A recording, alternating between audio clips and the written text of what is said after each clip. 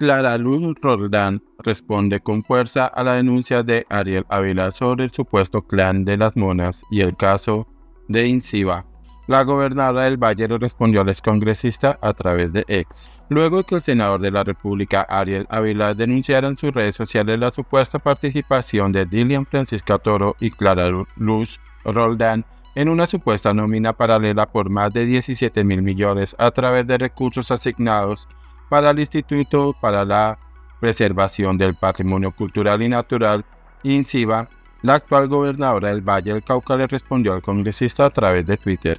Así entonces, Roldán calificó de bajo el hecho de que Ávila la denunciara públicamente sin tener argumentos sólidos y estar apoyando en insinuaciones y conjeturas.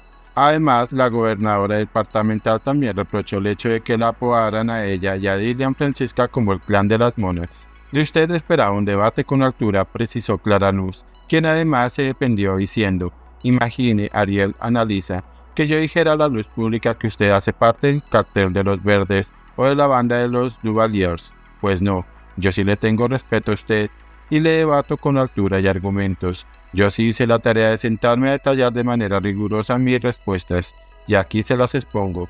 De esta manera, la gobernadora desglosó un hilo de respuestas para contrarrestar los argumentos del senador del Partido Verde. Lo que usted plantea de manera temeraria y sin pruebas, con música siniestra como un entramado de corrupción, pues no es más que una gran red de gestores ambientales que cumplen con una promesa de campaña y con uno de los ejes del plan de desarrollo. En ese sentido, Roldán también le respondió diciendo que el tema ambiental para ella nunca fue un eslogan en campaña y le nombró los cinco ejes de su plan de gobierno. Seguridad, turismo, empleo y emprendimiento, medio ambiente y aprovechamiento del tiempo libre en cultura y deporte. Entre otras cosas, también escribió que en 2017 nació el programa Vigías Ambientales con 95 personas que trabajaban en seis municipios. En 2020 lo reformulamos y creamos los gestores ambientales que fueron 465 ese año en pandemia Luego se amplió a 963 en 2021, 1080 en 2022 y 1565 en 2023. Respecto a la nombrada nómina paralela, la actual gobernadora señaló que en realidad se trata de una gran red principalmente de jóvenes que enseñan cultura ambiental en escuelas y comunidades, ayudan a sembrar árboles, a reciclar, a cuidar cuencas. Según ella, lo propuesto en el punto 404 del Plan de Desarrollo Departamental.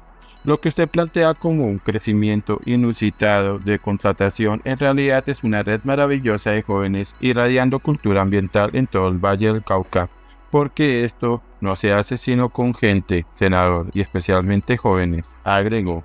De esta manera, Clara Luz Roldán le presentó con cifras y documentos a Ávila todo su trabajo en esta entidad y los hizo públicos en sus redes.